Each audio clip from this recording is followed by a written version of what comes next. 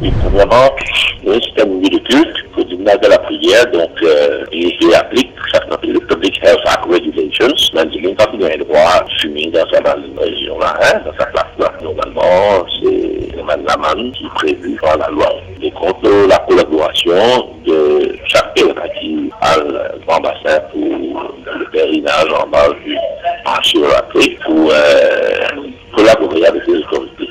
Deuxièmement, nous avons une communauté par le bureau du commissaire de police concernant l'interdiction pour euh, opérer ou bien pour faire en vol ben, drone, ça s'appelle ben, Remote Piloted Aircraft dans la région de Ambassador. Donc, euh, surtout euh, sans l'autorisation du directeur de, l'aviation civile. Alors, il est important qu'il est capable de la collaboration pour de tout le monde qui travaille dans l'intention pour faire opérer ou bien en voler un drone dans sa région-là parce qu'il y a toute infraction à cette loi qui compose une peine de prison qui ne pas dépasse 12 mois et aussi une amende qui ne pas dépasse 10 000 euros.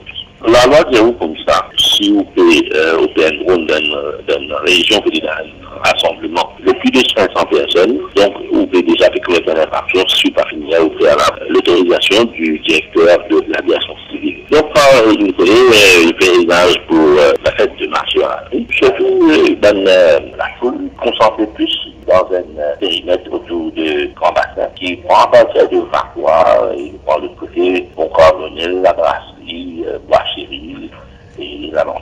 Donc, ça va pas ça normalement. Hein? Pas un droit sur vol la bande régionale avec un droit. La police, normalement, nous, est capable de temps à autre servir le drone pour capable de l'évaluation de la situation en ce qui concerne le nombre de pèlerins qui convergent vers l'ambassade. Deuxième, qui est l'affiliation, donc la situation de la route, c'est la malobstruction. Par qui il aussi l'hélicoptère de la police qui est capable de survoler sa qu'il est l'hélicoptère de la police, non seulement pour évaluer la situation, mais aussi pour faire une évacuation sanitaire d'urgence.